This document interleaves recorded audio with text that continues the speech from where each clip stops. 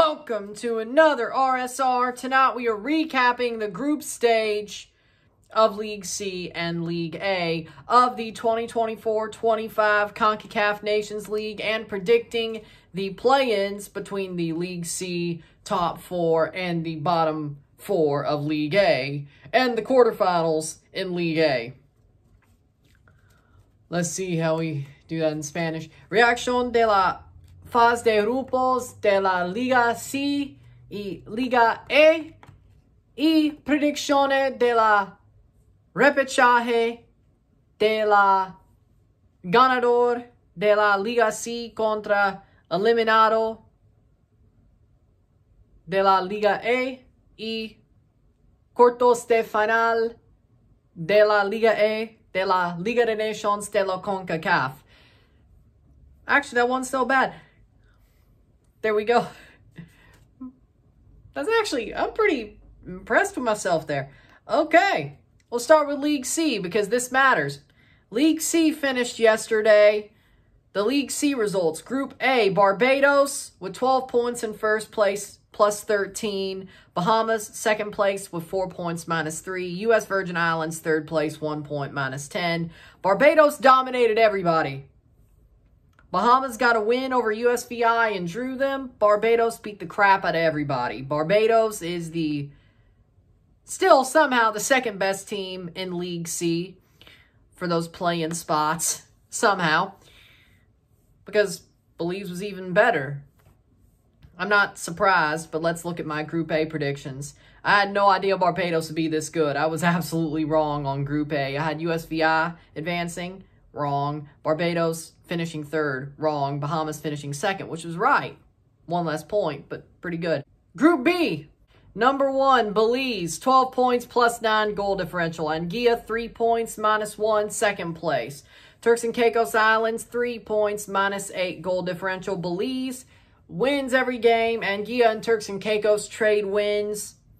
Belize was still second place comparatively to Barbados. Barbados was the best team, then Belize, then the Group C winners in St. Kitts and Nevis. But when it comes to Group B, had Belize finishing first with 12 points. That was correct. And Anguilla with four points, second place. They end up getting three, but I was right there. Turks and Caicos, one point. They won a game, but finished third. I was right about that. Group C, St. Kitts and Nevis, 10 points, plus seven goal differential. Second place, Cayman Islands, 7 points, minus 1 goal differential. Third place, British Virgin Islands, 0 points, minus 6 goal differential. I'm a bit shocked about that. I expected better out of the BVI, but St. Kitts seemed like they were romping to a advancement to the play-in. Cayman Islands played pretty well. They were the best second place team if you look at it. Cayman Islands, 7 points, minus 1. Second place, Bahamas in the second place ranking, four points minus three. Anguilla, the third best second place team, three points minus one. When it comes to Group C, I was right about the order completely. Seven out of nine on Group or League C. And the play-in seeds, I had that sort of wrong. So, going in. So, Barbados, best team out of League C. Belize, second best team out of League C. St. Kitts and Nevis, third best. Cayman Islands, fourth best. 7 out of 9 on League C. We'll leave that as it is. Now, the CONCACAF Nations League, Group A, League A, Group A results. Sixth place, Guyana, one point with eight, minus eight goal differential. I, not really surprised. They, they had their moments, but I'm not really surprised. Fifth place, Guadeloupe, four points, minus three goal differential. That sounds about right. Let's see. League A predictions. Guyana, Guadeloupe, 6th and 5th. I had that totally right. Fourth place is Martinique with 5 points, minus 1 goal differential. Had them finishing third, but that still is eliminated fourth place. So, still had them getting eliminated. Third place, Guatemala, 7 points plus 1 goal differential. Suriname whooped ass on Guyana to get into the knockout stages. Flip that goal differential heavily. Guatemala are out because they lost to Costa Rica in Costa Rica. It's hard to beat Costa Rica in Costa Rica. That's the problem. It's hard to do. Very hard to do. and Suriname opened a can of whoop ass on Guyana. They didn't play so well throughout the group, but they got enough points and they scored enough goals in that penultimate, not even penultimate, final game to get on to the knockout stage.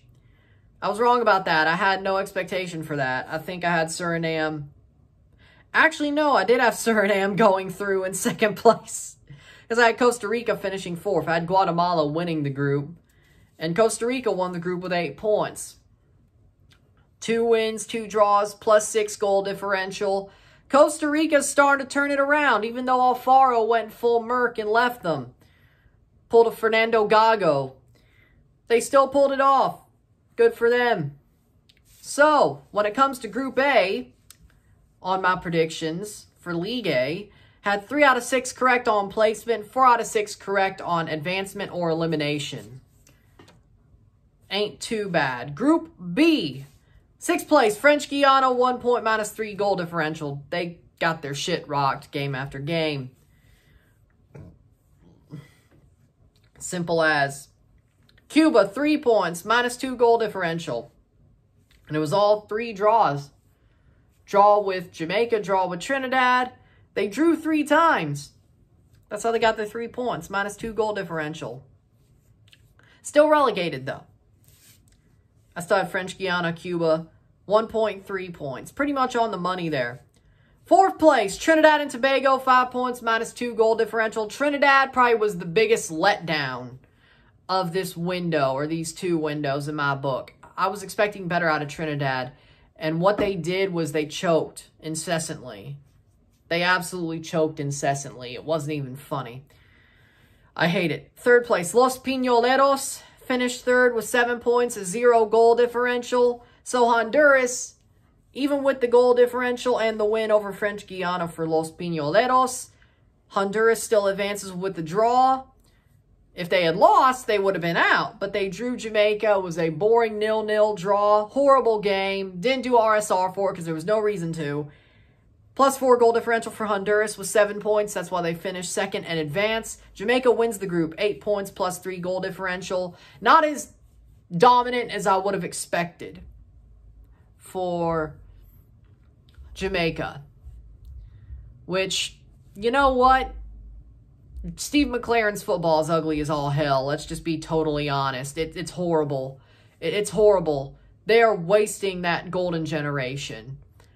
I hate it personally, but it is what it is. So that's League Group B. So when it comes to results on Group B, I had 3 out of 6 correct on placement. That was French Guiana, Cuba, Jamaica. 4 out of 6 advancement or elimination, which was Los Pinoleros getting eliminated. And Trinidad got eliminated, so that's out. And Honduras made it through, so that's out. So, boom. So advancement or elimination. So one better on advancement or elimination. Completely correct. Three out of six on both. That's kind of ironic. Uh, yeah, that would go there. Okay. Don't need those. Play-in predictions. We'll start with those because those matter less. Means they go to the Gold Cup prelims. They have to win a play-in to go to the Gold Cup prelims over two legs. So there's that. Play in one, Guadeloupe versus the Cayman Islands. I got Guadeloupe winning over two legs because Guadeloupe has a lot of talent. Cayman Islands, comparatively, not so much. Comparatively, not so much. I think Guadeloupe has a good bit of talent. It does suck they went down, but again, let's look at the group they were in. They always were.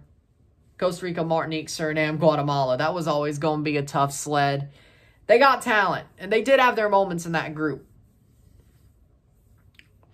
So, I think Guadeloupe should easily walk over to Cayman Islands and go to the Gold Cup prelims.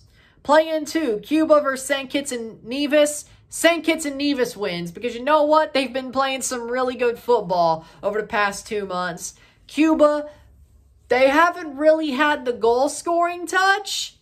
It's more of the defense. I think St. Kitts does have a better offense. Defense, it's good enough not to let Cuba score over two legs. I think St. Kitts will do enough to advance. Play in three. French Guiana versus Belize. I'm going with Belize. That might be the bigger upset that I'm going for. Belize wins. I think Belize is building up something well in CONCACAF. I think they've got a good team. They've got a great side. It's a very interesting dynamic, so to speak, with them. And I think they could beat French Guiana. Playing for Guyana versus Barbados, I'm going with Guyana because even though Barbados was the best team in League C, there were positives about Guyana. They weren't. The number of points that they got doesn't really tell the story, I would say, comparatively. I mean, one point, they, they had their moments when it came to this tournament. I can't be too harsh. They do have good players. Quillan Roberts is still good in goal. I think Guyana can beat Barbados. Really, I think they can. Finally, the quarterfinals.